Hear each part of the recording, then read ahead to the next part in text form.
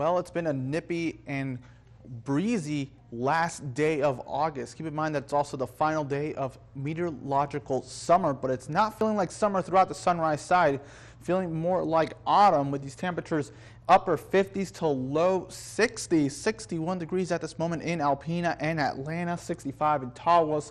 Cool spot is Rogers City at 58 degrees. Winds now coming out of the north compared to yesterday. The cold front has slid through. Winds up to 14 miles per hour in Alpena, a bit lighter in Oscoda at 8 miles per hour going inland at 12 in Mio. But in the last 24 hours, Northeast Michigan has seen the biggest decrease in that thermometer. 16 degrees cooler in Alpena than it was at this time yesterday, 12 in Oscoda, and we're in for a cold night.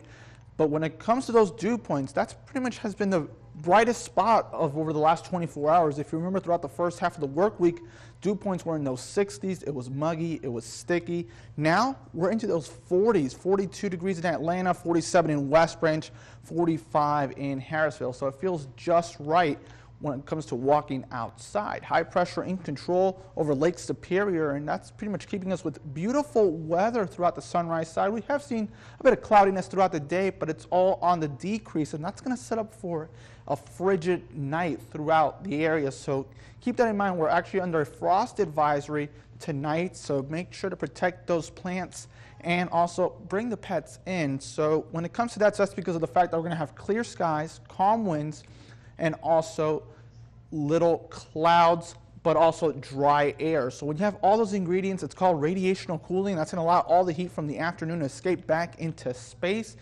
and that mercury really takes a big tumble. So high pressure will be right over us by tomorrow night, so we're still going to be dealing with the risk of frost once again, so keep that in mind during the nighttime hours, especially for those farmers.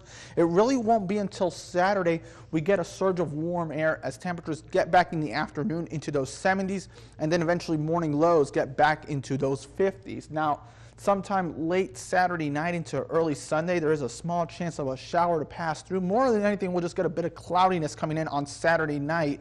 Better chances of rain will actually occur on Labor Day Monday. Sunday, though, temperatures continue to warm up into those mid to upper 70s. So good news, though, when it comes to this cool air, it's only going to stick around for about a good 36 hours.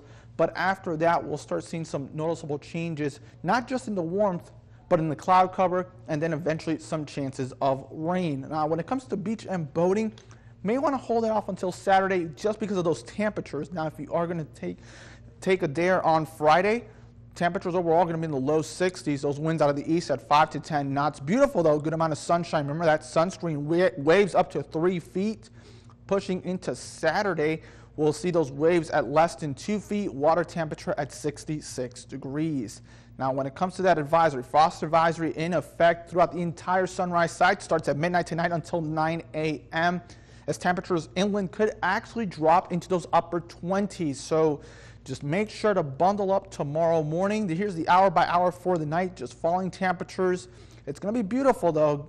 Stargazer's delight, but just make sure to have that sweater weather out for tonight and even into tomorrow night as well. 41 degrees, clear skies. Enjoy that sunshine. And then throughout Labor Day weekend, temperatures warming. Then a cold front comes in on Monday and we'll fall back to similar pattern that we're seeing right now for the middle and latter portion of next week.